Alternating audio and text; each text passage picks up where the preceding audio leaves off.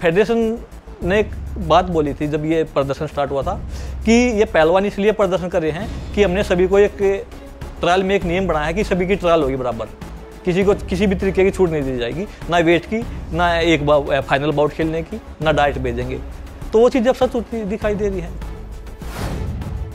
सरासर गलत है ये, कोई क्राइटेरिया उठता है चीज़ का। ऐसे तो पहले बिना ट्रायल भी टीम गई है। जो नंबर वन के थे वो बिना ट्रायल गई है। वो फेडरेशन का फैसला था। पर कभी ऐसा नहीं हुआ कि भाई ऐसे प्रदर्शन जिन्होंने किया उसको छूट दे दी गई। या उन पहलवानों की ये गलती है कि वो धरना प्रदर्शन में नहीं थे उन्होंने प्रदर्शन नहीं किया। इनको इसलिए उनको तीन तीन चार चार ट्रायल देनी पड़ेंगी। दिया ये कुश्ती के साथ है और कुश्ती बड़े बुरे दौरे निकल में बुरे बुरे दौरे में है।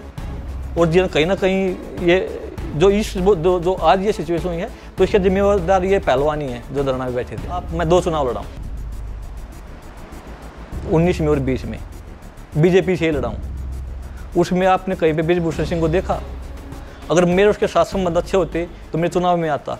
भारतीय कुश्ती संघ में चल रहा बवाल एक नई दिशा की ओर जाता दिख रहा है। धरने पर बैठे पहलवानों को एशियाई गेम्स में छूट मिलने का मुद्दा गरमाने लगा है। दरअसल, भारतीय ओलंपिक संघ की एडहॉक कमेटी ने ब्रजभूषण शरण सिंह के खिलाफ धरने पर बैठे पहलवानों को एशिया वर्ल्ड चैंपियनशिप के ट्रायल में दी गई राहत ने कुश्ती जगत में एक नए विवाद को जन्म दे दिया है।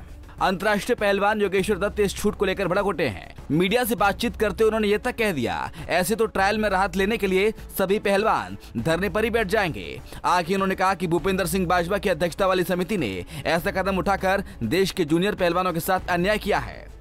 देखिए, मेरे को मीडिया के माध्यम से पता लगा कि जो आई ने एडो कमेटी बनाई थी, उन्होंने एक निर्णय लिया है कि जो पहलवान प्रदर्शन कर रहे थे, छह पहलवान, जंतर मंत्र पे उनको ट्रायल में छूट दी गई है कि वो बस जो पहलवान एशियन गेम्स की जो पहलवान ट्रायल जीतेंगे, उनके साथ बस एक फाइनल ट्रायल विजेता के साथ ट्रायल होगी, जो उसका विजेता होगा इन ट्रायल्स में। एशियन गेम्स और वर्ल्ड चैम्पियनशिप की ये ट्रायल हैं, जिसे ओलंपिक वर्ल्ड चैम्पियनशिप में जो जाएगा और वर्ल्ड चैम्पियनशिप से क्वालिफाई भी है।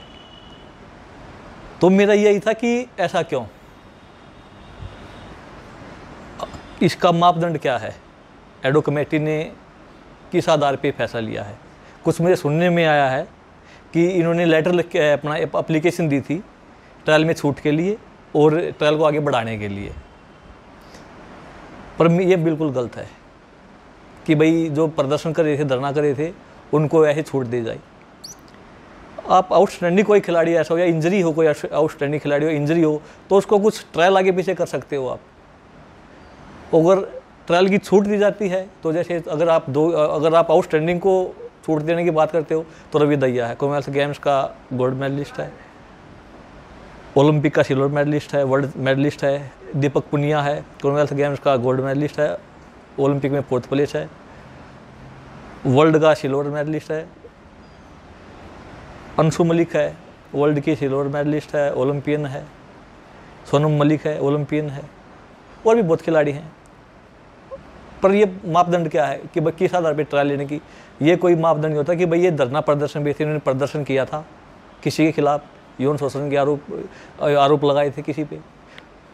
तो इसलिए हम ये छोड़ देंगे ये ऐसा नहीं है। अगर ऐसे तो जो और भी पहलवान है और खिलाड़ी भी होंगे, हर गेम के खिलाड़ी हैं, वो भी बैठ जाएँगे छूट लेने के लिए। तो जो उन्होंने आरोप लगाए हैं, उसकी जाँच होनी चाहिए। वो न्यायालय में वो चीज़ें हैं, पुलिस एफ़ आई हो चुकी है, वो कोर्ट वो फैसला करेगा। तो वो चीज़ें लगाएँ, पर इस तरीके से ये चीज़ें नहीं होनी चाहिए। हम इस तरीके से ये चीज़ें करेंगे। और फेडरेशन ने एक बात बोली थी जब ये प्रदर्शन स्टार्ट हुआ था कि ये पहलवान इसलिए प्रदर्शन कर रहे हैं कि हमने सभी को एक ट्रायल में एक नियम बनाया है कि सभी की ट्रायल होगी बराबर। किसी को, किसी भी तरीके की छूट नहीं दी जाएगी। ना वेट की, ना एक फाइनल बाउट खेलने की, ना डाइट भेजेंगे। तो वो चीज़ जब सच होती दिखाई दे रही है कि जो फेडरेशन ने चीज़ें बोली थी, वही चीज़ें फिर दोबारा आइडो कमेटी ने की हैं और इसने तो उससे बुरी की हैं। इन्होंने कुछ मतलब कोई क्राइटेरिया नहीं बनाया। सरासर गलत है ये, कोई क्राइटेरिया उठता है चीज़ का। ऐसे तो पहले बिना ट्रायल भी टीम गई है। जो नंबर वन के थे, वो बिना ट्रायल गई है। वो फेडरेशन का फैसला था। पर कभी ऐसा नहीं हुआ कि भाई, ऐसे प्रदर्शन जिन्होंने किया, उसको छूट दे दी गई। या कोई, जो नंबर वन के दौर पहलवान भी हैं, या तो उनके भी दी जाती। पर वो चीज़ें चेंज हो चुकी हैं। तो ये बिल्कुल सरासर गलत है। देखिए, बिल्कुल मैं बोलता हूँ कि एक बच्चा चार ट्रायल देगा, एक बच्चा फाइनल सीधा डायरेक्ट फाइनल खेलेगा जो कैमी ट्रेनिंग करते हैं, जिन्होंने एशियन गेम्स की तैयारी करते हैं, उनके दिमाग में एक और बर्डन आएगा प्रेशर आएगा कि मैं जीतने के बाद भी एक ट्रायल और देनी होगी। तो वो बिल्कुल गलत है। ट्रायल में राहत देने के फैसले को सरासर गलत बताते उन्होंने कहा, कुश्ती बदनाम हो रही है और इस बदनामी को करवाने का पूरा श्रेय धरने पर बैठे पहलवानों को जाता है। ब्रजभूषण, शरण सिंह पर जो आरोप लगे हैं, उनकी जाँच चल रही है और मामला कोर्ट में विचाराधीन है। अगर वे दोषी हैं तो उनको सजा मिलनी चाहिए। यही नहीं, विनेश फोगाट द्वारा लगाए गए आरोपों पर योगेश्वर दत्त ने कहा, उन्हें चमचागिरी की आदत नहीं है और यही लोग चमचागिरी करते हैं। तभी विनेश को बिना ट्रायल खेलने भी भेजा गया और विदेशी कोच तक उपलब्ध कराए गए। देखिए, बिना ट्रायल के वो भी गई है। कई विदेशी कोच उसने लिया, फिर हमने कभी विदेशी कोच अपने नहीं लिया नहीं लिया। पूरी टीम का कोच होता हमारे साथ में। उन्होंने फिजियो अलग, सब कुछ अलग अलग ट्रेनिंग हंगरी में उसने वो ओलंपिक टाइम में की। फेडरेशन के साथ उसका तालमेल अच्छा होगा, अच्छी बातचीत होगी, तभी तो फेडरेशन उसको इतना, उसको अप्रूवल किया जाने, अकेले जाने के लिए। एक टूर्नामेंट में बिना ट्रायल वज़न चेंज कर किया, अड़तालीस में थी, फिर बोली जी मेरे को 53 में जाना है 53 में किया, फिर नहीं गई, फिर भी फेडरेशन ने कुछ एक्शन नहीं लिया। तो ये संबंध बताते हैं और मैं बताता हूँ, आप, मैं दो चुनाव लड़ा हूँ। उन्नीस में और बीस में, बीजेपी से ही लड़ा हूँ। उसमें आपने कहीं पे ब्रिजभूषण सिंह को देखा? अगर मेरे उसके साथ संबंध अच्छे होते तो मैं चुनाव में आता। दो हज़ार सोलह के बाद मैं फेडरेशन मेरा कोई संबंध नहीं रहा। अगर होता तो मैं किसी मैं चीफ कोच होता, या कहीं हरियाणा का मैं कुछ सेक्रेटरी या अध्यक्ष होता, या भारतीय जो संघ है, कुश्ती संघ, उसमें कहीं मैं कहीं अधिकारी होता, कहीं टीम में जाता, मैं कहीं गया ही नहीं। मैं मतलब ही नहीं कुछ भी। उन चीज़ों में रहता ही नहीं। और ये चमचा की आदत इन लोगों को, ये मेरी नहीं है। हम सीधे बात करते हैं और स्पष्ट बात करते हैं। गौरतलब है कि भारतीय ओलंपिक संघ के एडॉक पैनल ने विनेश फोगाट, बजरंग पुनिया और उनकी पत्नी संगीता फोगाट, साक्षी मलिक, उनके पति सत्यव्रत कादियान और जितेंद्र के नाम को ट्रायल में छूट दी है। छूट का मतलब है कि अब इन पहलवानों को भारतीय टीम में जगह बनाने के लिए सिर्फ़ ट्रायल के विजेताओं को हराने की ज़रूरत होगी, जिस पर विवाद खड़ा हो गया है। रोहतक से दीपक भारद्वाज, पंजाब केसरी टीवी।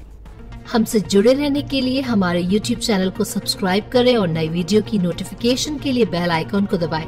अगर आप ये वीडियो Facebook पर देख रहे हैं तो लाइक ज़रूर करें और ज़्यादा से ज़्यादा शेयर करें धन्यवाद